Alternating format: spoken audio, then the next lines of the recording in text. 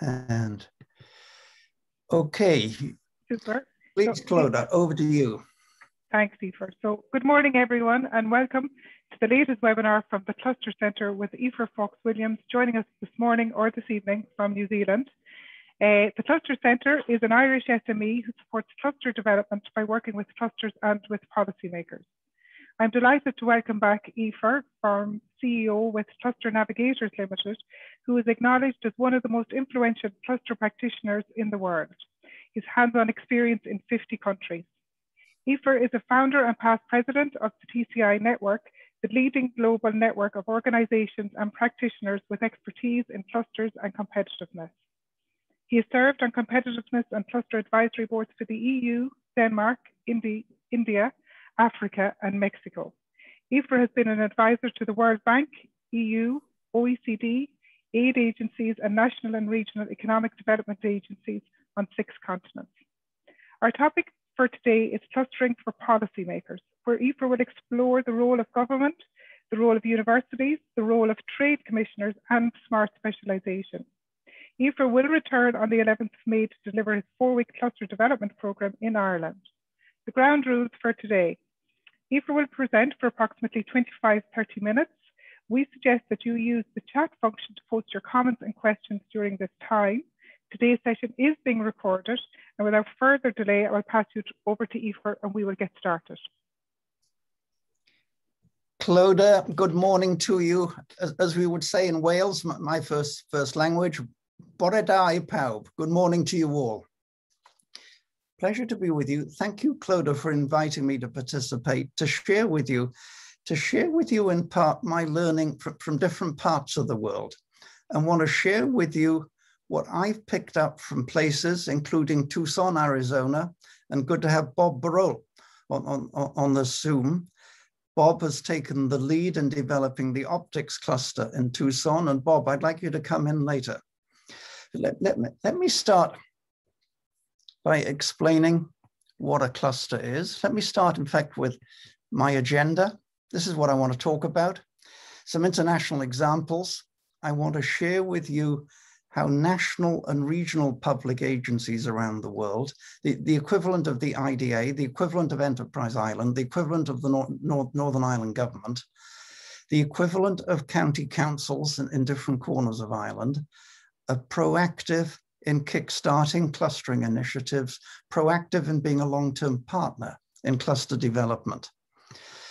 I want to share with you a little bit how cluster development provides a framework in part to stimulate exports amongst SMEs, helping exporters hunt as a pack, in part to develop links between tertiary institutions.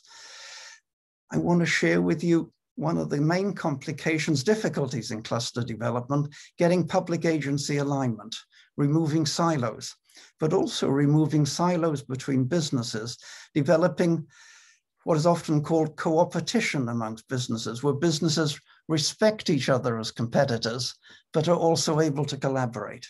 And want to share with you too, how cluster development is used as a framework to address transitions, to address emergencies, COVID, green economy, digitalization. And as Clodagh mentioned, a little bit on the, the, cluster development course that Clodagh is organizing for May. Let me start not in Tucson, Arizona. Bob, if I knew you were coming in, I, would have, I'd have put Tucson on here. But let me start in Nashville and want to use Nashville as an example of it's a naturally occurring cl cluster. No government agency has invented it. It has come through naturally, initially, in, in a sense, the local market and then the US market, and now literally making a noise around the world. And, and many clusters start servicing the local market as national did way back. A food cluster in Holland, known today as Food Valley, again, started naturally, but today it is the food mega cluster on a global scale, close to 1,500 food companies within a 50 kilometer distance within the functional region of this cluster. Wageningen University, very much a focal point. It's a naturally occurring cluster, but there is also a cluster organization there. A cluster organization that is in part exploring what's next in developing our ecosystem. What's next in lifting the competitiveness of our firms? What's next, perhaps, in terms of emerging international markets? What's next in terms of new food packaging technologies? It's not a small team, 20, maybe in fact, I think 25, 26 people today. It's got a board, it's triple helix. It's not a junior board. The university president, the, the rector is on the board. It, it's an initiative that has been running for many years. It was initially co-funded by the Dutch government. It's now co-funded by the regional government. And now it's mainly in, in, in, in Holland, the regional governments that, that are funding clustering initiatives such as this. We take you to Australia. Food Industry Australia is a Canberra based, it's a national organization fully funded by government.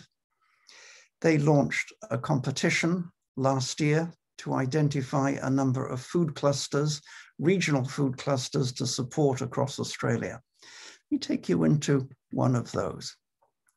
It's called the Food and Agribusiness Network. It's just north of Brisbane on, on the Sunshine Coast in Queensland.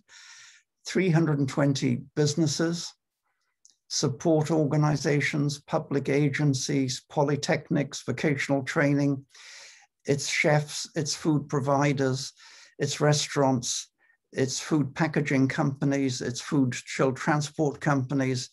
It is the whole cluster ecosystem. This is an event that they held yesterday on the Sunshine Coast in Australia. Meet the Makers, they call it. They, they, it's an annual event. There were 60 participating businesses exhibiting their produce, not, not to end customers, but to the trade, to restaurants, to buyers. Unfortunately, because of COVID, there weren't any international buyers there, but there were export agents who are shipping to Singapore, to Indonesia, to, to, to other markets.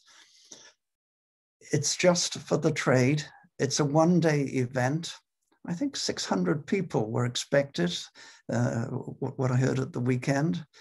So it's an opportunity, particularly for small businesses, to quickly engage quite cost effectively with a large number of buyers to test their produce, to test their packaging, to test their offerings.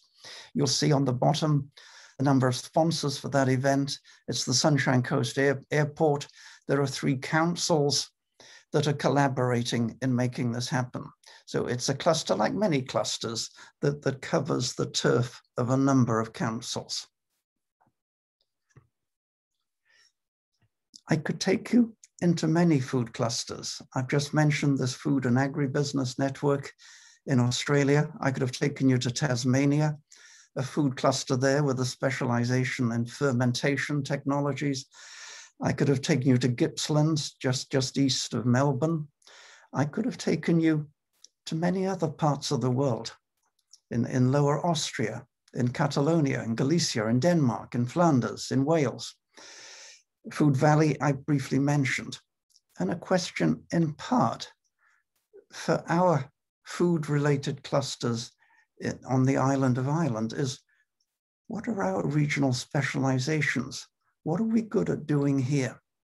And it's fine to be a cluster that is servicing the local market, but if particularly we're focusing on clusters as a mechanism to support export development, we need to be good at something. We need to have some specializations. And at times, it takes time for those specializations to come through that can be part of the journey of, of developing a cluster. Cork talks about its technology cluster. And as I look at the logos here, I, I, can see Intel, I can see HP. So I guess it's, it's a number of multinational companies here, but I sense also a number of indigenous companies. It's a mix of companies. I notice they describe themselves as a technology cluster. Let me take you into a particular technology cluster. This is Southern Norway. It's a cluster of engineering firms that were servicing the North Sea. It's about 70 engineering firms in total. And part of their journey has been moving from a little bit of everything in the sense of servicing the North Sea to developing a particular competency. And it's a competency that is the focus of their cluster, as they describe it, and industry driven. And, and like that, it's business driven for ocean technologies. Oceans is part of what you're developing, an oceans cluster in the west of Ireland. But this is oceans technology, particularly is drilling technology. And this cluster today is able to say we account for three quarters of the world market in our particular niche. So describing here a cluster that over two decades or so has moved from a little bit of everything in marine, uh, or particularly oil and gas related, to developing a particular niche and now a global position. It's not small scale in terms of the regional economy. There is a clustering initiative that is being funded by the Norwegian government. There's 10 year funding in place for this. This is one of Norway's larger clusters. So the Norwegian government, in part, saying cluster development is not quick fix. It merits long-term funding. This funding coming from the Norwegian government is co-funding. It is matched, at least matched, by funding from other organizations, including participating businesses. There's a range of projects, and projects are really the engine room of any clustering initiative, where Often it's competitors collaborating.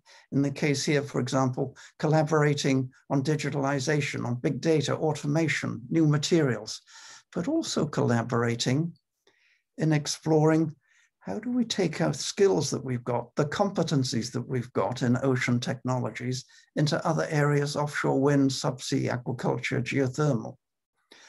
And would expect any strong clustering initiative to be exploring at the boundaries, to exploring, in a sense, diversification, to exploring how do we take the competencies that we've developed into other areas, particularly emerging areas. This cluster in southern Sweden is one of the 30, 35 or so clusters that are being funded by Oslo, different levels of funding, and I applaud that from Norway, three levels of funding, um, the, the, the, one I described has got 10 year funding. The, the, the, some of the other clusters have got two, three year funding or five year funding, according to where they are on the program. So in Norway, cluster development is center stage, as it is in many other countries, including these examples for clean tech. And clean tech, I gather, is on your agenda in Ireland. And making the point here, there's a number of clean tech clusters around the world. And maybe you might think these folk are competitors, but maybe they could be buddies for your clean tech cluster as well.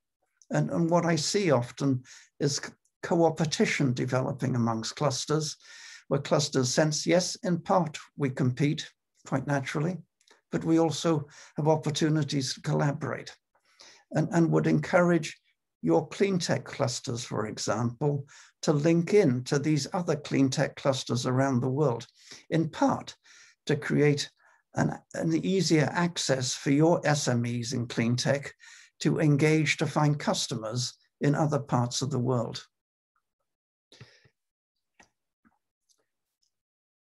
FinTech certainly is on your agenda. And I did a session a few months ago now with this financial services cluster in, in the Southeast. And one thing I like about this cluster is firstly, it's the range of companies, it's multinational companies, it's also your homegrown indigenous companies, and some of those companies, like the one in the top left-hand corner, already have branches around the world. They're global players. But what I particularly like is the three rows at the bottom of this slide. And if you put your eyes close, you can see it's Carlow County Council, along with four other county councils. It's Enterprise Ireland, and good to have them participating today. IDA are there. It's Skillnet Ireland. It's a number of public agencies and public agencies that I sense in part are using the cluster network to better listen to what really are the needs of those companies and how do we better respond to them.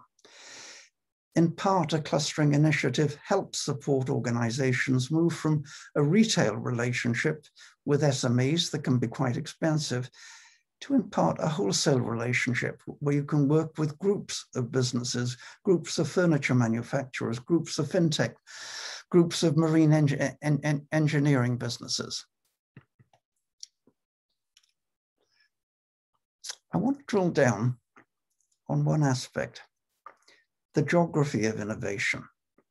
And I want to make it quite clear clusters are not, I am not picturing them as being whole of Ireland wide.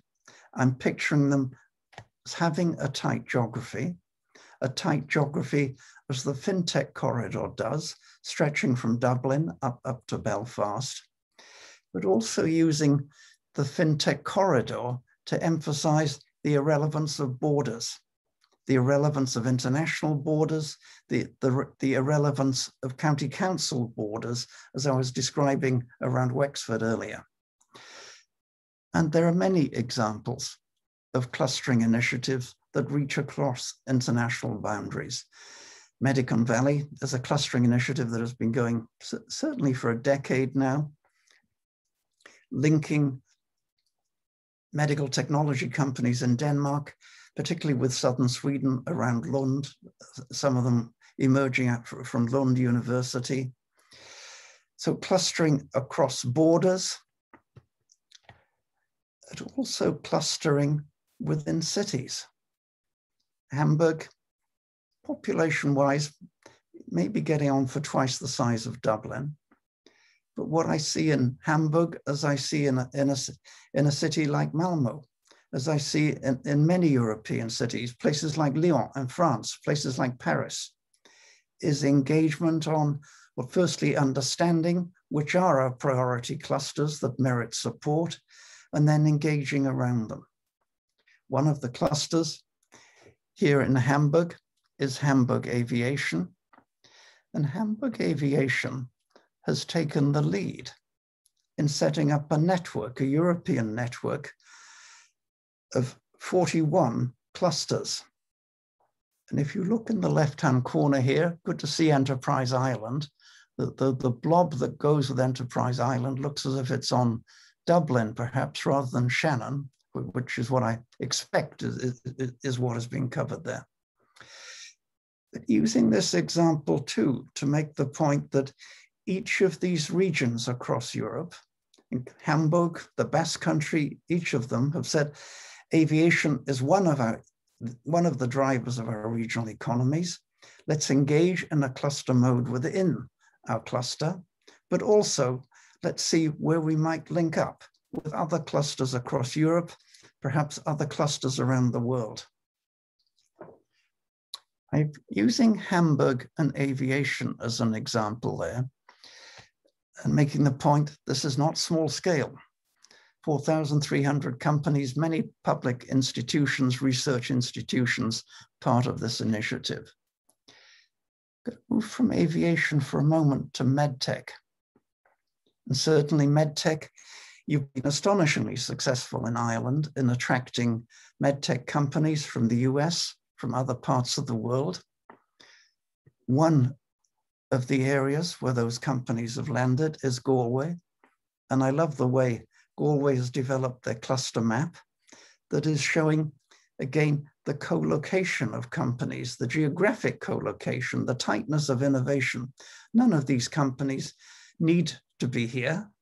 They're here because it makes economic sense to each of them, economic sense for a variety of regions. I've talked about medtech, I've talked about aviation, and I want to come back to those two in a moment. But let me first take you to Oulu, way north in Finland, on the edge of the Arctic Circle. They talk about smart specialization in Oulu.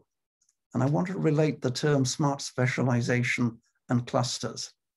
And their smart specialization, as they describe it, it's ICT and digitalization. And that takes them into three vertical markets. It's on the left, ICT software. In the center, it's metal industries. To the right, it's healthcare. There's an organization called Business Oulu, that is the, the Regional Economic Development Agency.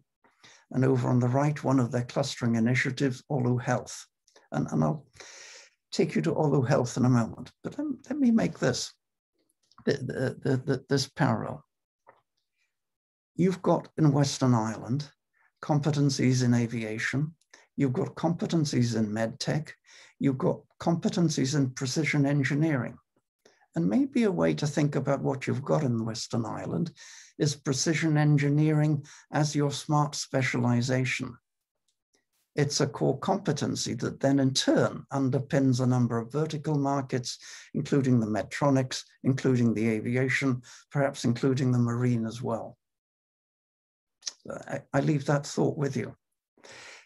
Let me take you to Oulu Health and want to use this as an example of a clustering initiative. Oulu Health, particularly, it's ICT. And this is one of their projects. It's an annual project.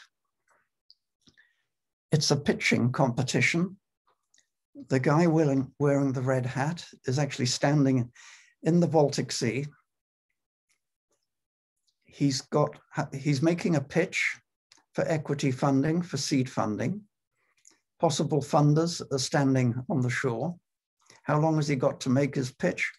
As long as he can stay in the water. That, that, that, that's up to him. It's a bit of a fun element. It's a fun element that gets them on Finnish TV, Scandinavian TV once a year. So it's part of blowing the trumpet. But using this as an example of a cluster that as one of its activities, particularly supporting SME growth, and here helping SMEs find the seed funding, find the equity funding. The EU has identified 3,000 clusters across Europe. Important, firstly, this is where one in four jobs are. Even more important, this is where around half of all Europe's exporting jobs are. Again, cluster development, positioning it center stage, because this really is what drives a regional economy. Succeed with the clusters, the activities that are attracting wealth to your region, then automatically the domestic side of the regional economy will grow. Clusters matter, as the European Commission identifies. In part, this is where we find the higher quality jobs, the higher paid jobs.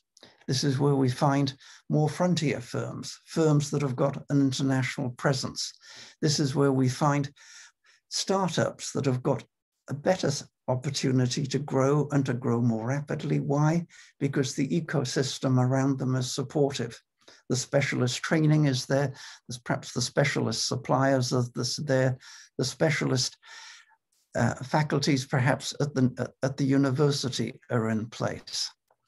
Another way of thinking about clusters is picturing yourself as an international buyer. And the world is becoming a lot easier for international buyers. If you're a buyer of socks, for example, then perhaps Datang in China is the only place you need to go to. There are two and a half thousand sock companies in Little Datang. Certainly, if you're a buyer of mobile quarrying machinery from Saudi Arabia, from New Zealand, you know about Mid-Ulster. If you're a buyer of radish seeds, you know about South Canterbury in New Zealand. If you're a buyer of cold weather testing systems for aircraft, you know about Manitoba in Canada. I certainly know about it. I've been there in winter and it was minus 45. It's chilly. But for an international buyer, as I mentioned, the world is becoming easier. And the question then for a Wicklow, for a, Don a Donegal, for a Dublin, is where do we stand out on a global scale? What are we darn good at doing? Because it's no longer a little bit of everything. that doesn't cut mustard in this global world. We need to have specializations that attract attention. I've described clusters. I've taken you into a few clusters, highlighted the importance of clusters. Let me move now to what cluster development is. Think of it as building the ecosystem. There's much that a company needs to do within its own boundaries.